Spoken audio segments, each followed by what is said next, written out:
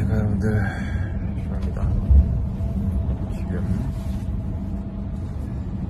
목공하러 가고 있습니다.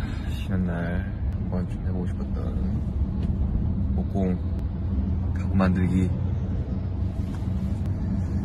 하러 가고 있는데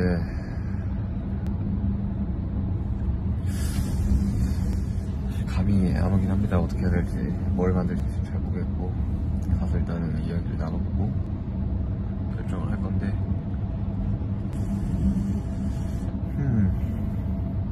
도마 이런 거 많이 만들던데.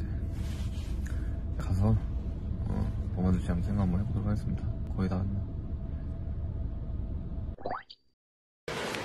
내리구만